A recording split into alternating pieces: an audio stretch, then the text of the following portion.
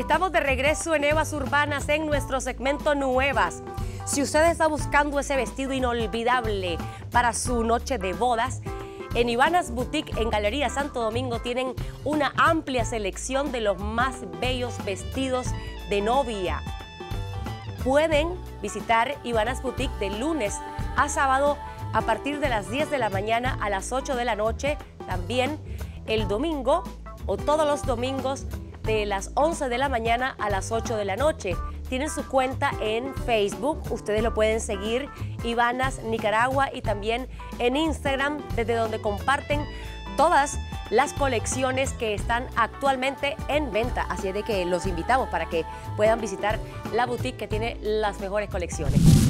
Plaza Portas, un nuevo concepto en Managua un lugar donde encontrarás diversos negocios, farmacia, cafetería, supermercado y mucho más.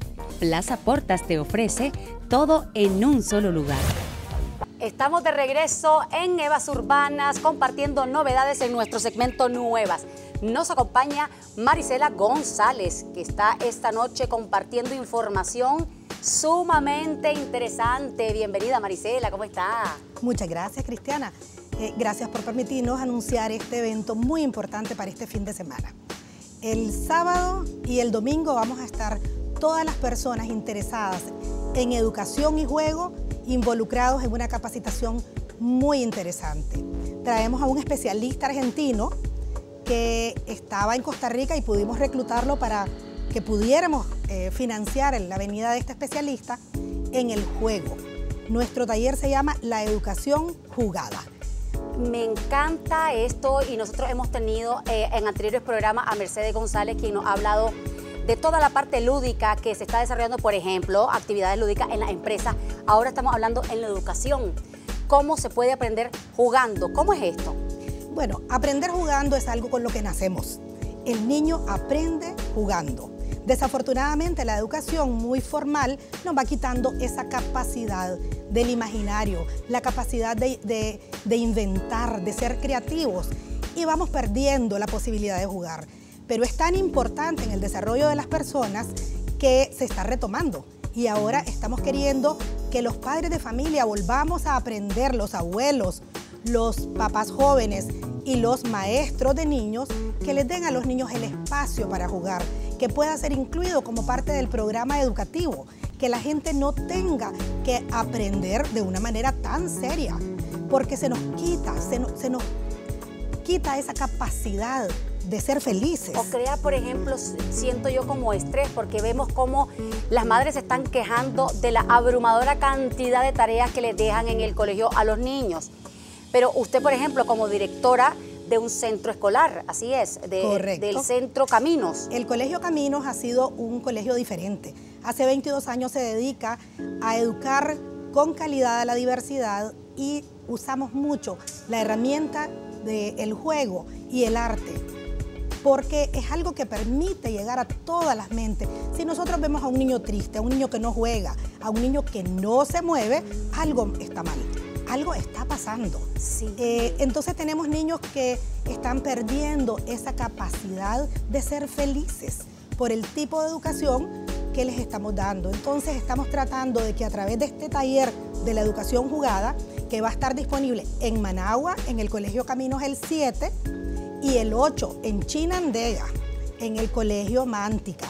Nos hemos unido varias empresas, estamos eh, unidos, se hace el Foro de Educación, eh, Fe y Alegría, eh, están apoyando varias personas. En Chinandega está la Fundación Pantaleón, está el Hogar del Niño y el Centro Educacional Mántica. Entonces va a ser desde las 8 y 30 hasta las 4 de la tarde. Es todo el día. ¿Qué van a hacer en esa, o sea, de, solo jugar? jugar aprendiendo, sí. Vamos a jugar. Vamos a aprender a jugar con nuestros niños, aprender a jugar con nuestros alumnos. Vamos a estar en esto eh, compartiendo con un experto que además hace asesorías en empresas. Es una gente que, que se dedica a esto que estabas mencionando antes, ¿no? Que ahora el juego está siendo incluido en la capacitación de los empresarios, en la capacitación de los vendedores. Es decir, todo el mundo está tratando de recuperar esto. ¿Y este evento es para niños con padres o solo los niños? Solamente padres o sea, parejas Ah. jóvenes, educadores, Los niños no van. maestros de preescolar, no. Vamos a aprender a jugar con nuestros hijos. Ay, Sí, excelente. vamos a jugar entre adultos para poder recuperar eso que hemos perdido y poderlo hacer en casa, poderlo hacer en los preescolares, en las escuelas y poderlo incluir como parte de los como parte del plan de estudios.